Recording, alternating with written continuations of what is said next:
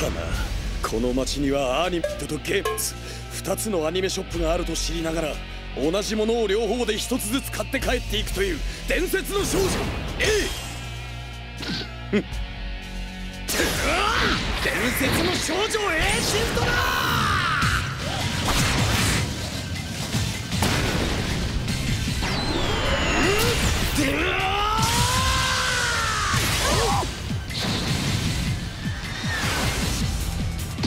いらっしゃいませ DVD ハルフどもが入荷しました限定版通常版完備ですその他グッズも続々入荷ですよそうだ